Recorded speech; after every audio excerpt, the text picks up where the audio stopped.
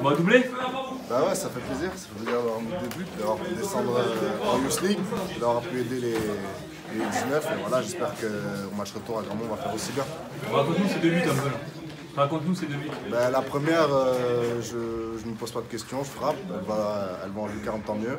Après le deuxième, je sens que Thibaut il va, il va la prendre coup de pied et elle revient sur moi. Je mets une, une talonnade et elle rentre. Prêt, hein, t'es prêt, hein Ah, t'es prêt, hein Ouais. Comme en finale euh, U19 Ouais, passe, euh, passe de Yanis, Ouais. fini, fini dans les 6 mètres. c'est ça. Mais je savais qu'il allait le mettre en retrait, donc je suis l'action. Et il me la met sur moi, magnifique. J'ai juste à finir. Donc c'est parfait. Avec une belle victoire à la clé ici, c'était dur. Mais bon, on a, on a tous fait un travail exceptionnel, que ce soit défensivement ou offensivement. Et je pense qu'on mérite euh, largement ce- cette victoire avec l'équipe. Un petit mot du capitaine.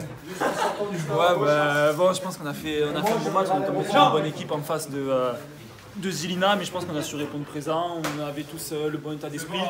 Et voilà, après on est tous contents de la victoire quoi, c'est passé.